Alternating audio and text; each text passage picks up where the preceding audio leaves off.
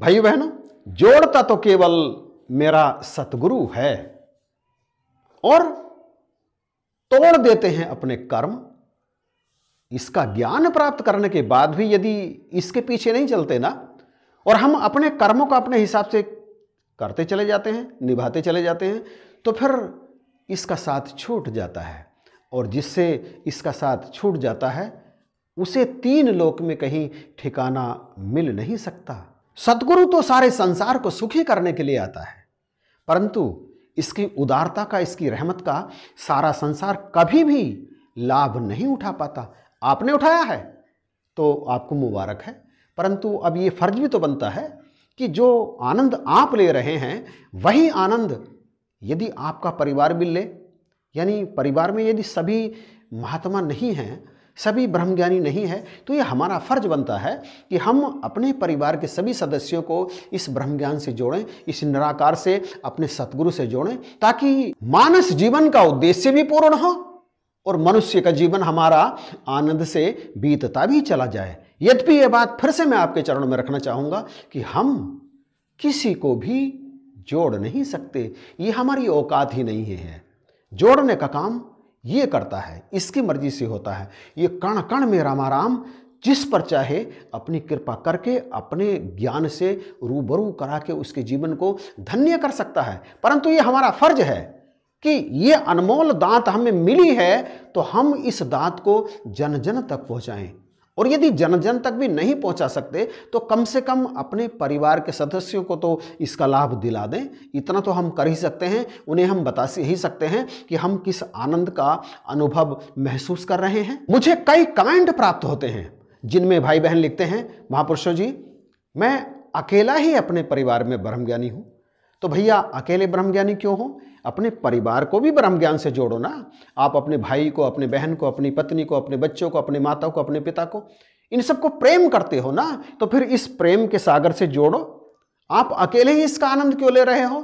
आप कहते हैं कि वो आपकी बात मानती नहीं, हम किस तरह से उनसे बात शुरू करें? तो मैं जहाँ तक मेरी बात है, मैंने ज्ञान प्राप्ति के बाद में अपनी माता जी को ब्रह्म ज्ञान दिलवाया, पिताजी को ब्रह्म ज्ञान दिलवाया। शादी के बाद जो जीवन संगनी मुझे मिली, इनकी कृपा से उन्हें मैंने ब्रह्म ज्ञान दिलाया। दो बच्चे सदगुरु ने प्रदान किए हैं, उन दोनों को ब्रह्म ज्ञान दिलाया पास पड़ोस वालों को ब्रह्म ज्ञान दिलाया। और यह दुर्भाग्य की बात है, मैं समझता हूँ कि जिसने मुझे ब्रह्म ज्ञान दिलाया, आज वो इस मिशन में नहीं है। वो सतगुरु ने, पता नहीं, उन्होंने अपने जीवन में ऐसा किया किया कि सतगुरु ने उन्हें निकाल करके बाहर कर दिया। और ऐसे तमाम ऐसे तमाम महात्माओं को मैं जानता हूँ जो बरसों, बरस तक 10-20 बरसों तक भी जो जुड़े रहे निराकार से और अब वो इस परमात्मा से जुड़े हुए नहीं हैं, अलग हैं। ऐसा क्यों होता है? ये तो यही जान सकते हैं, ऐसा क्यों करते हैं? परंतु हमारा जितना काम है हम उतना तो करें।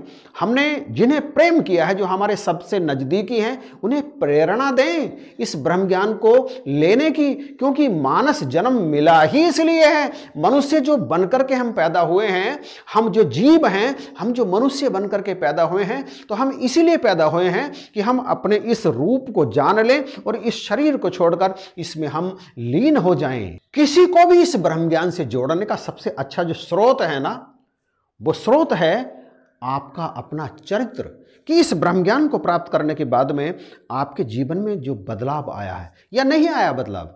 अभी भी वैसा ही चल रहा है क्या आपका जीवन? या आपके जीवन में आप कुछ बदल गया है? आपकी आवाज़ पहले से कहीं ज़्यादा मीठी हो गई है? आपका व्यवहार पहले से कहीं ज़्यादा आत्मीय हो गया है? आप लोगों को प्रेम भरी नज़र से देखते हैं अच्छी अच्छी बातें करते हैं और सबकी सहायता भी करने को हर समय तैयार रहते हैं? क्या ये सब आया है? आपके जीवन में ब्रह्म ज्ञान प्राप्ति के बाद यदि ऐसा नहीं है तो फिर कैसे बदलाव कर पाएँगे? कैसे जोड़ पाएँगे जब अपने आप को ही नहीं बदल पाए? औरों को दीक्षित कराने से पहले अपने आप को दीक्षित करना पड़ता है, अपने आप को बदलना पड़ता है। आप अपने आप को बदलेंगे तो ये अपने आप जोड़ देंगे।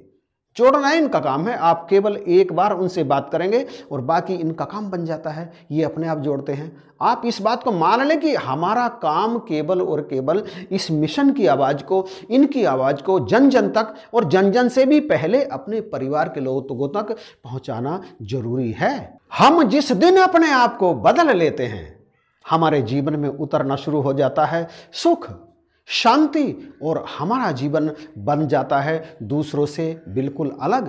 फिर लोग हमें आश्चर्य की नज़र से देखते हैं, पूछते हैं तो हम सीधे उनसे कहते हैं कि हमारे जीवन में जो बदलाव आया है, इनकी वजह से आया है। यहाँ से आते हैं सुख, यहाँ से आते हैं बदलाव, यहाँ से आती है शांति।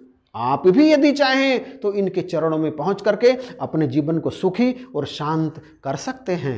भाइयों बहनों बदलाव तो करना पड़ेगा। अपने आप को चेंज तो करना ही पड़ेगा। चेंज किए बिना हम किसी को भी प्रेरित नहीं कर सकते।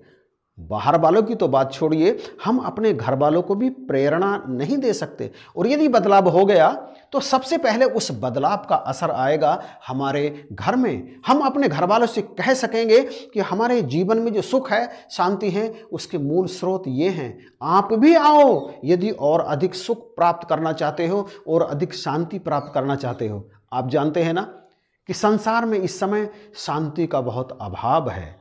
लोग परेशान हैं, पीड़ित हैं, व्यथित हैं और उनकी ये पीड़ाएँ, उनकी ये व्यथा, उनकी परेशानियाँ यदि दूर हो सकती हैं तो इनकी कृपा से आप अपने घर वालों को विश्वास दिलाओ, उनसे प्रार्थना करो और उससे पहले अपने आप को चेंज करो, अपने आप को दिखाओ कि आपने इनकी कृपा से अपने जीवन को सुखी कर लिया है। और यदि आप ऐसा करेंगे तो आपकी हर बात माननीय होगी। आपके जो संबंधी हैं, जो परिवार वाले हैं, वो आपकी बात मानकर इनके चरणों से जुड़ जाएँगे। और इनके चरणों से जो एक बार जुड़ जाता है ना, उसका ये लोक भी सुखी हो जाता है और परलोक ये लोक भी सुखी हो जाता है। दोनों लोकों की बाजी, वो जीत जाता है। मनुष्य जन्म का उद्देश्य पूर्ण हो जाता है और फिर वो भी दूसरों के प्रेरणा स्रोत बन जाते हैं। तो कृपा करो, बख्शिश करो। सबसे पहले अपने आप में परिवर्तन और जब अपने आप में परिवर्तन होगा, आप प्रेरणा देंगे अपने परिवार वालों को। उनसे बात करेंगे कि, भाई प्रापत, मानुष देहुरिया, गोविंद मिलन की, ये तेरी बरिया बारी है परमात्मा से मिलने की। और ये परमात्मा से मिलन हो गया ना तो ये तमाम योनियों का चक्र जो है ना वो समाप्त हो जाएगा, अपने निज रूप में मिलकर सब कुछ शांत हो जाएगा। और जो शांत हो जाता है, फिर उसे कुछ और पाने के लिए शेष नहीं रहता। बख्शिश करो, कृपा करो। इस वीडियो के बारे में आप अपनी राय कमेंट में ज़रूर कीजिएगा। मैं इंतज़ार करूँगा और इस वीडियो को अधिक से अधिक शेयर करना बिल्कुल भी मत भूलना। इन्हीं शब्दों के साथ जय हिंद, नमस्कार और प्यार भरी धन्यकार